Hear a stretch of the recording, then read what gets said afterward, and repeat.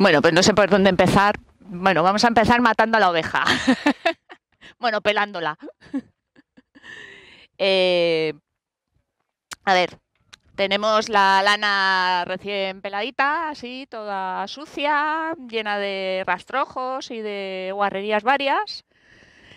Eh, esta lana hay que, hay que lavarla. Eh, la lavamos y se quedaría pues así.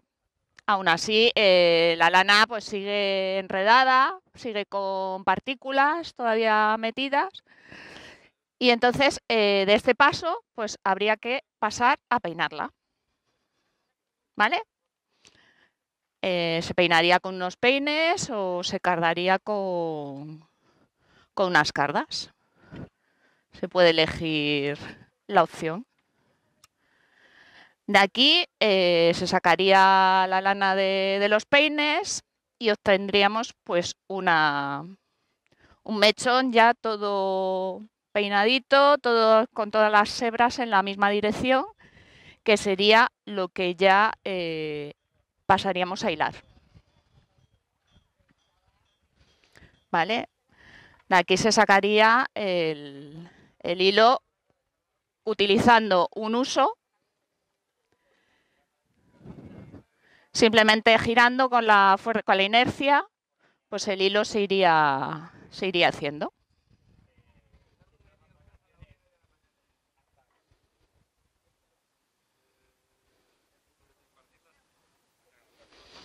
Eh, con esto eh, utilizamos la rueca, que aquí es donde se apoyaría la lana y donde se iría sacando para, para esto. Esto es una rueca, no,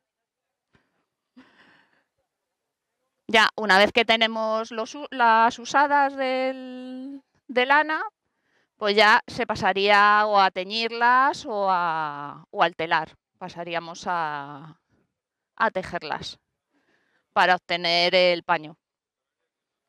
Por ejemplo, hay el en el telar